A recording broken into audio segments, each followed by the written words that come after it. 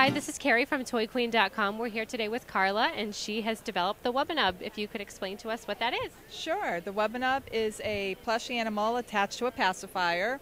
It's a medical grade Soothie pacifier that's distributed in the hospitals, and it helps keep the pacifier near the baby without using cords and clips. Or if they're in the car seat, you could take the animal and strap it into the straps, and the baby could still cry and move his head away, but yet come back to the pacifier.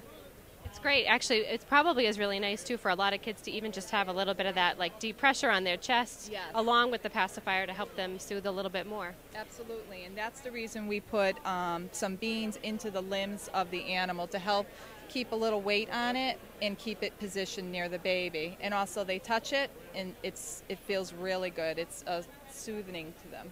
Um, so, Carla, they can find um, local retailers on wubbanub.com. Yes. Um, and again, this is Keri from ToyQueen.com showing you practical ways to play every day.